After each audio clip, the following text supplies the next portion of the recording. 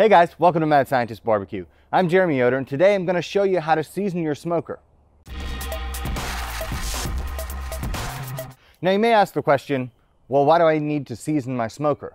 And by seasoning, what we mean is covering it in oil. So if you have a smoker like this Franklin pit behind me that's completely exposed metal, there's no paint on it anywhere, it's essential that we season the smoker so we prevent a lot of rust. Even on smokers that come painted, a lot of times you're gonna have to do this process to the outside because the metal expands and contracts as you heat it and let it cool, and then eventually the paint chips off. And rather than spraying on new paint, I think it's easier actually to use some oil to make sure that you protect that metal from rust. For some smokers, you don't need to season the outside. So if you have, say, an offset smoker like this, but the outside is powder coated, well, that's not gonna chip off like paint, so you don't need to put oil on the outside. But for all smokers, it's important that you put oil on the inside so that you protect that metal on the inside from rusting because you don't want rusty metal to get into contact with the meat you're trying to cook. Now, I just got this smoker. You can see the crate behind it still. But in the uncrating instructions, it says that this smoker is ready to go right away and you don't need to burn it out. And if by burn it out, they mean build a fire, coat the thing in oil, and let the fire run for a while, then I don't know if I really believe it. There's a lot of some kind of grease or something on the outside of the smoker, so maybe they pre-seasoned the outside. But the inside definitely has not been seasoned, so we have to do that at bare minimum. But I want to show the whole process of seasoning the inside and outside so you can adapt it to whatever your needs are. Our tool today is going to be PAM. And this is a very easy way to do it. You could, you know, have a bucket of oil and with a rag coat the entire surface of the smoker with oil, and you could do the same thing on the inside, but that's kind of a pain. This is a much easier way to get a more even coat of oil on all the surfaces. Step one, we're gonna cover the inside with oil.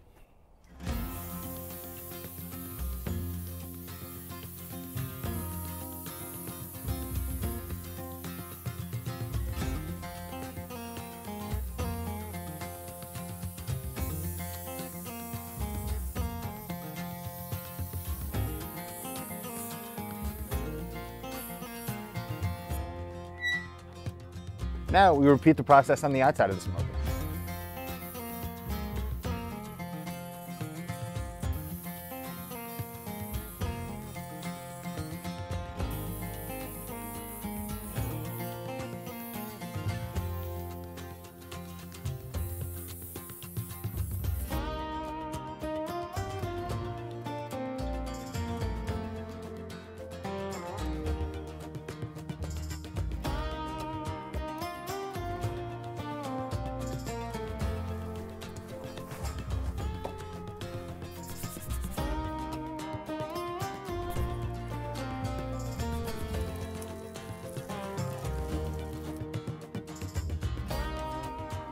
I'm done screwing around with this.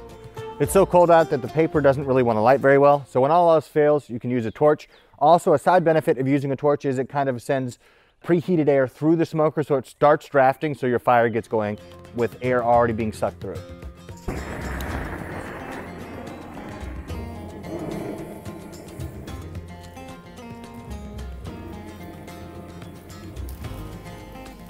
All right, temperature on the outside is currently 39. So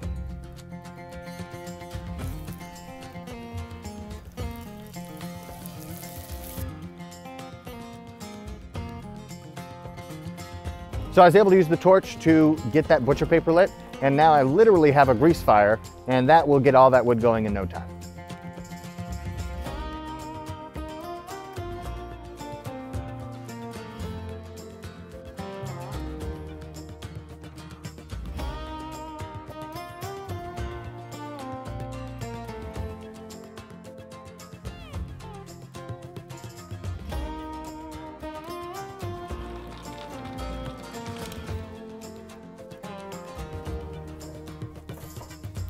Now I know a lot of you guys are probably watching this video not because you're super curious about seasoning a smoker, but because this is a Franklin barbecue pit.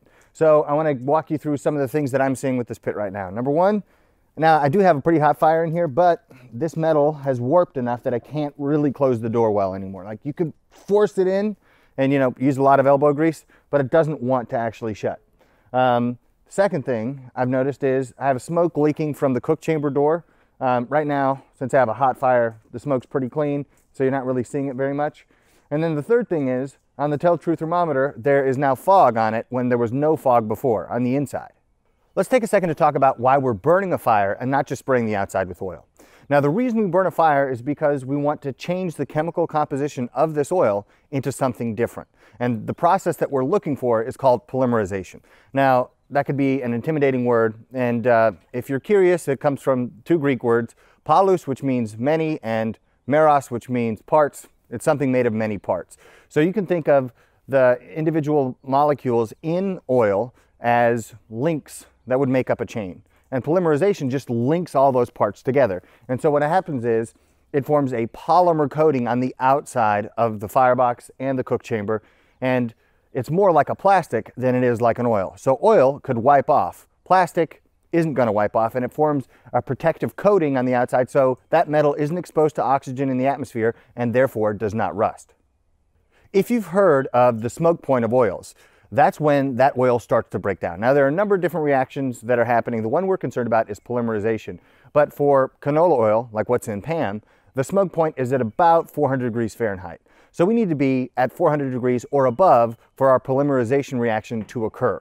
And so that's why we want to burn a hot fire because if we do that, then we get that protective coating. If we don't, then it's just kind of some sticky oil that smells bad. So we want to make sure we get it nice and hot. And so on this one, Right now on the firebox, the temperature is in the 430, 440 range, and it'll probably continue to climb for a while. So it'll probably get up to 500, maybe 550 degrees. So think of a screaming hot cast iron skillet. That's about the temperature you would have. I just mentioned smoke point, and if you don't have an infrared thermometer, you can still know if you're getting your pit hot enough or not because once you pass the smoke point, it'll start to smoke. And right here on the firebox, now we're starting to get quite a bit of smoke, and this is telling me we're moving in the right direction, and this is all going to kind of turn a dark, dark brown and form the protective coating that we're doing this whole process for.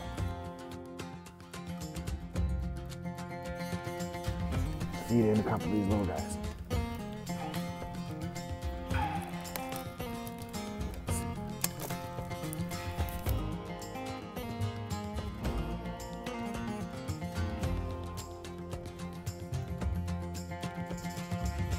At this point, we're starting to see some different things happening as the process carries along. So the initial browning, what's happening there with the oil is oxidation, cyclization, polymerization, but as the temperature goes up, then you get carbonization. So on this firebox, you can see both of those stages. Right here, you have the dark color, the dark brown that's from those previous reactions. Then it carbonizes and gets this nice black sheen. That's what you want. That's gonna be the coating that protects the metal for a long period of time. As you may be able to tell, I have this thing just screaming hot right now. But that's the point because I want all of this to set properly and I don't want it to be some sticky, gross, oily layer that you know, is in my way every time. I want it to be a protection for the smoker. And it also looks really cool. But one thing I noticed is right here, this is the first part of the cook chamber that started to turn black. So that tells me the hottest part of this thing is gonna be right here. So this is a little bit cooler. This is a lot cooler. So I think the smoke is coming out, the smoke and the heat rather, are coming out right here and then boom, up at the top, and then it cools off as it moves toward the stack. So when you hit temperatures like this, 678 degrees and probably in some places over 700 degrees, that's what you want to build that carbonization. Now, another thing that you should do is you should repeat this process periodically. What I do is every time I cook on an offset, I will spray the firebox down. That's just part of my procedure.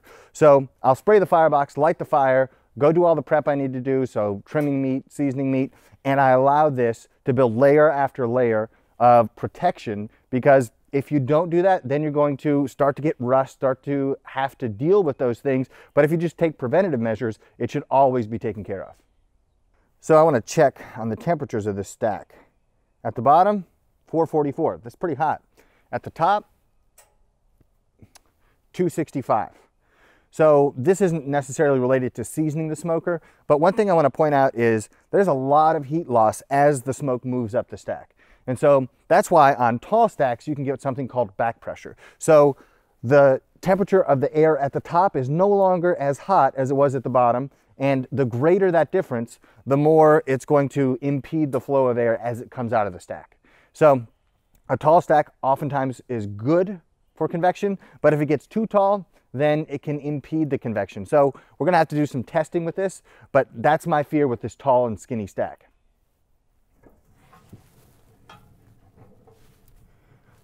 Nice.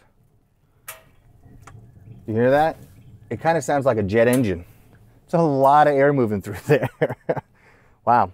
Taking a look at this right here, I see kind of an even black coating everywhere that tells me we got the polymerization and the protection that we were looking for. The only exception is right here where we have the opening to the firebox.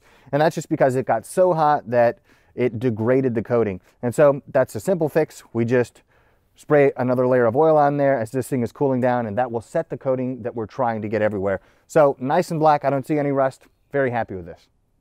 And that's really all there is to it. Now, one thing I do need to mention is that the results that we're looking for, so that black, shiny exterior, is the result of heat and time. So it's not like you just burn a hot fire for 30 minutes and then you're done with it. What you need to do is burn the fire for long enough that you get a uniform coating on the exterior surface of the smoker. That way your smoker is protected and your hard-earned money that you spend on that smoker is protected with it. If you enjoyed this video or if you found it helpful, hit the like button down below, subscribe to the channel, and leave me a comment. You can also follow me on Instagram and Twitter at Mad Scientist Barbecue. I'll see you guys next time.